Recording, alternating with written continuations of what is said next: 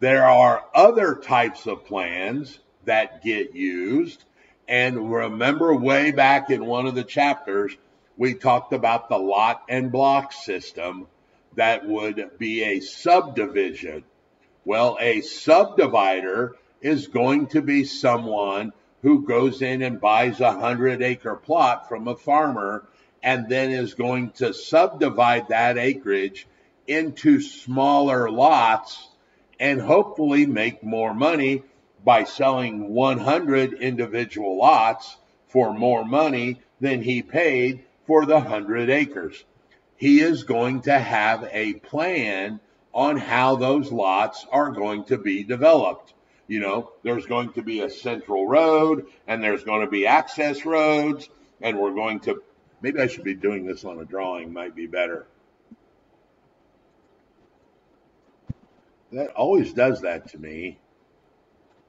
You know, he's going to say, oh, well, here's my 100 acres, and I'm going to build a road here, and then the access road is going to be just one big circle, and I'm going to put, you know, the retention pond back here, and I'm going to put lots here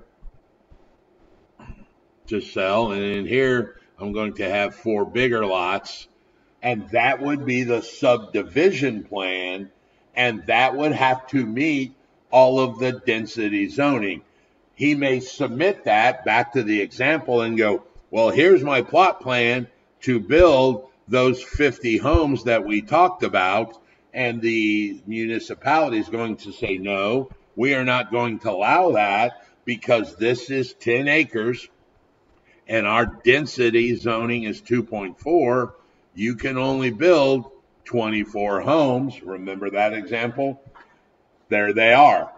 And then he would submit that plan to get approved as a subdivision plan. They would be controlled by the state or local government. And they are going to set standards at a state level. And once again, a local government could set higher standards. So the state, state may say our density zoning is this, and some local municipality goes, we want a more stringent density zoning so that we can reduce the population and in essence not have to put a new fire department in because now there are too many people. That plat map is going to show all of those boundaries that we just showed. Where are the lots at? Where is the sound swale? Where is the retention pond? And all of that must get recorded so that everybody knows where it's at. And using that is how we control the density, where it talks about the maximum number of houses per acre. So we have been talking about the government or the man holding us down. We can actually do it to ourselves through private land use controls. These are restrictive covenants that may limit the use of the property imposed by a past owner. Remember those uh, fee simple defeasible? Maybe somebody has passed something on, and the example I gave in that chapter was we sold 10 acres to a seller, but one of the requirements was the buyer was not allowed to subdivide it and build homes because the current owner didn't want to live next to a subdivision. So he'd sell the property with a defeasance that, that said they couldn't subdivide it. That would be an example of the uh, restrictive covenant that was applied on that property by a past owner. Or maybe it's the current owner that's going to do it and they're going to bind the future people down the road. So they could be in there on private. Now, there's some legal issues that I don't want to cover a whole bunch.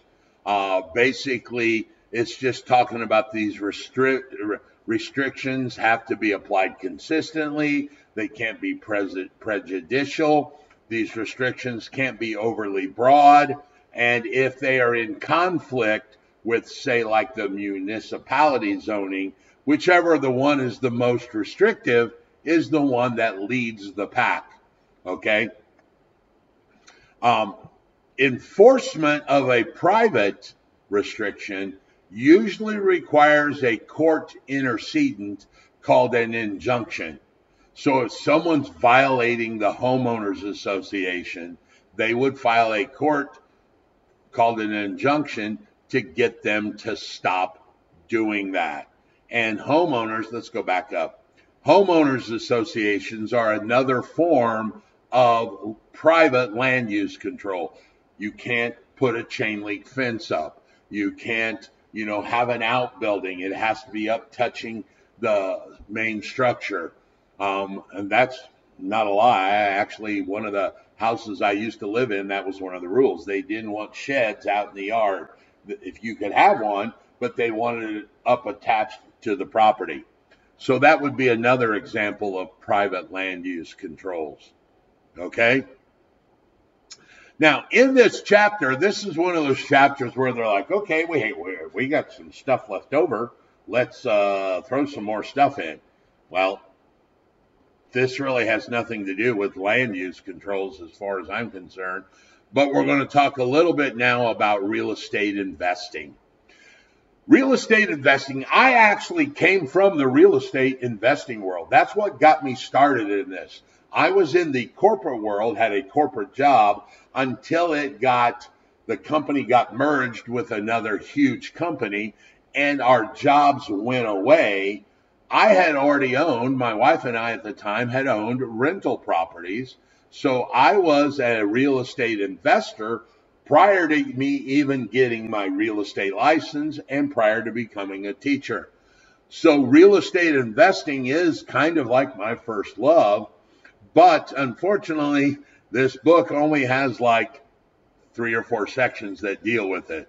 And mainly they want us to talk about what are the advantages of investing in real estate. So I want to cover some of the advantages in real estate. The most notable one that people think is there is a larger rate of return on rental property than there is on most other types of investments. Not necessarily true, but it is pretty good. Now, I do want to cover some math real, real quick because there are some questions that deal with this concept called a return on investment. And there is some math to figure out. And let me go through the example. Let's say you bought a house for a hundred thousand and you sold it for a hundred and twenty-five thousand.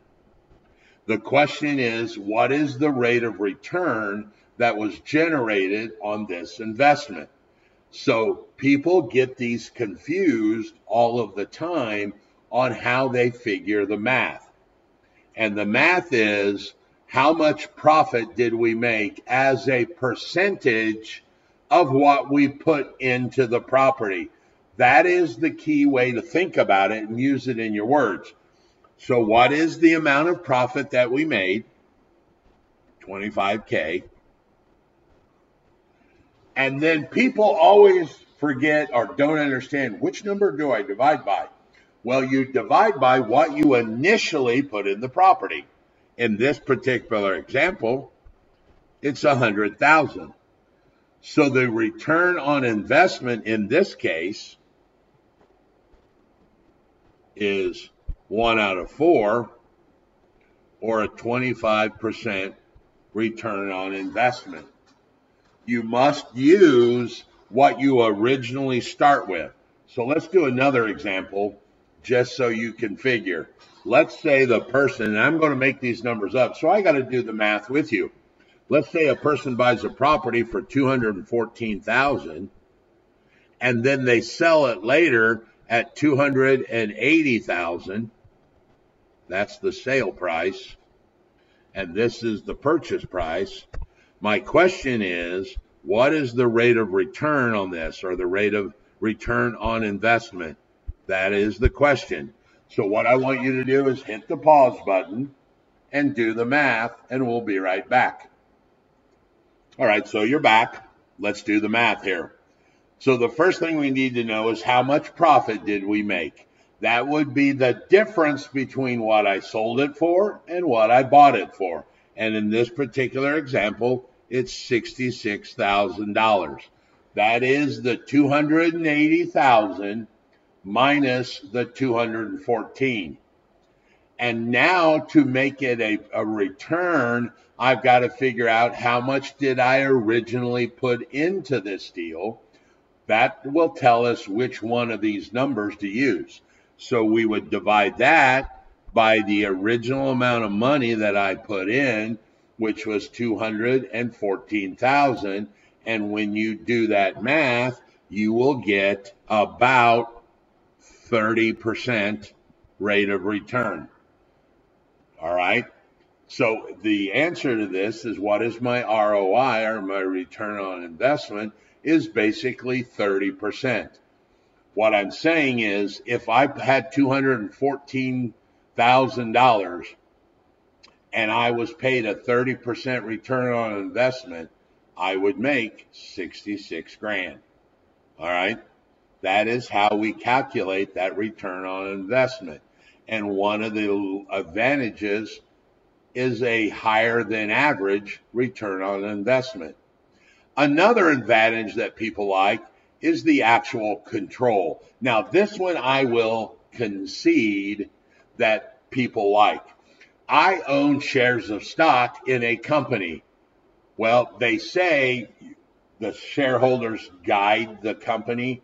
But, dude, do you think my three shares of the 30 million that are out there really give me any say so? No.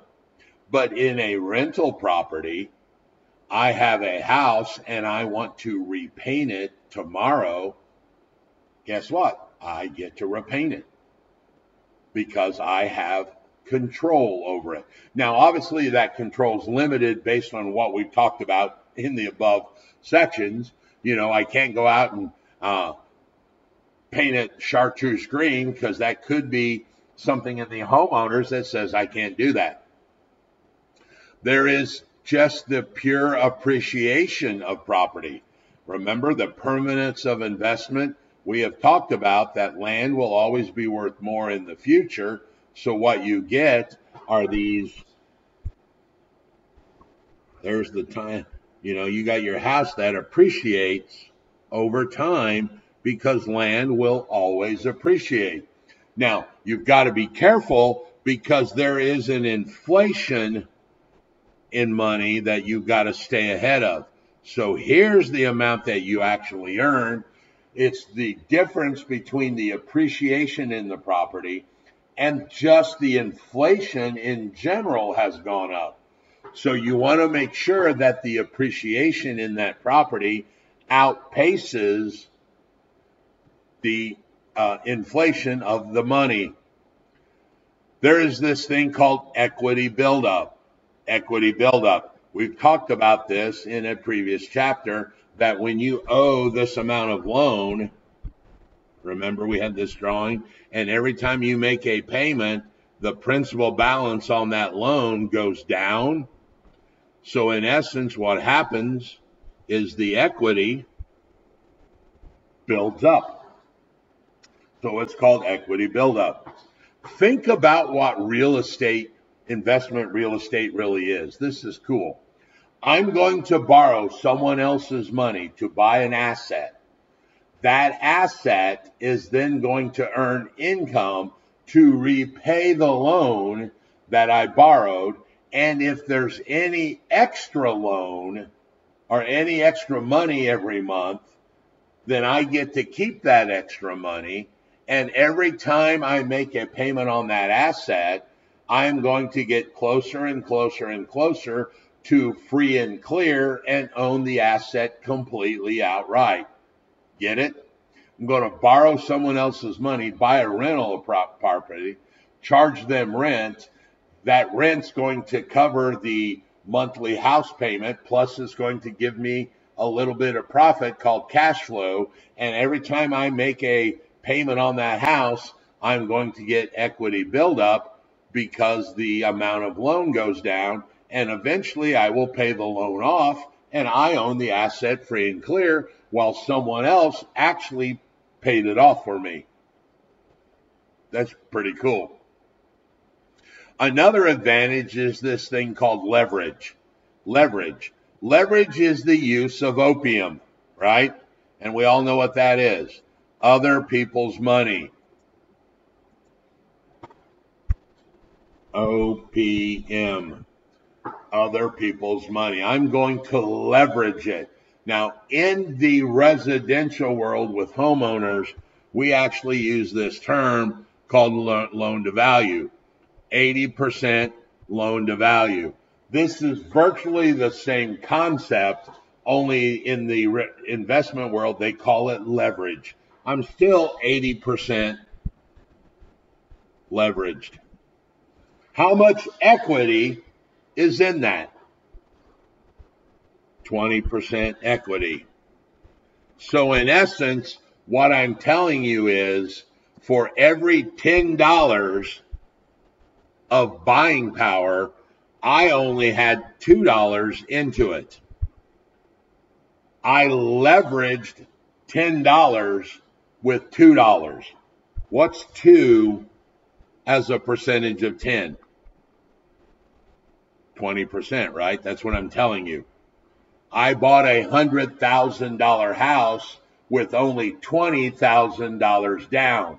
I leveraged my 20,000 into a bigger number that allowed me to buy a $100,000 home.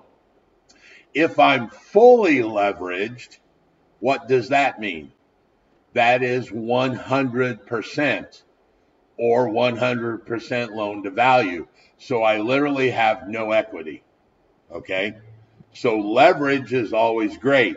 So if you've got a hundred grand laying around, you could go buy one property and pay a hundred thousand dollars and own it free and clear. Or I could put ten thousand dollars down on 10 properties and still spend the same hundred grand, but now I've got 10 properties that are making income because of leveraging other people's money into allowing me to buy multiple investment properties.